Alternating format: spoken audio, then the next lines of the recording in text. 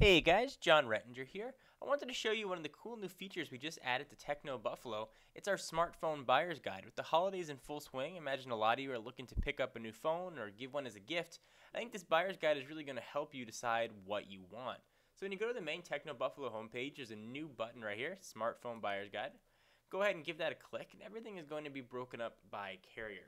So you've got, this is all just for the US, AT&T, Sprint, Verizon, and T-Mobile. Let's go ahead and click on one of the AT&T images and it's going to bring up a much larger image.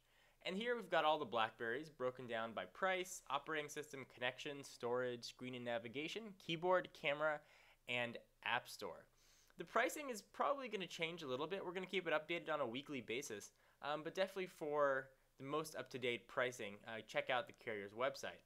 But this is always going to be most up to date with all the new devices, so you can compare them and see what you want. Like in this case, you want to get a BlackBerry, and Wi-Fi is important to you, but you don't necessarily need to have 3G. We can go ahead and look and say, okay, here's just Edge and Wi-Fi. The BlackBerry Curve 8900 is probably perfect for me.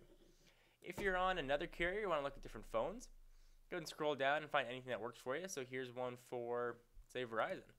Looks like this one focuses on Android and Windows Mobile. So you can go ahead and just take a look at everything here and find a phone that really suits your individual needs. This is a really handy tool and I've actually used it um, when I make my reviews to help see the specs on different devices. I hope you guys find it useful. Um, I certainly do. And a special thank you to, uh, to Chris Ward and the TechnoBuffalo staff for, uh, for putting this together. Anyway, I hope you guys enjoyed and I will see you in the next video. Bye-bye.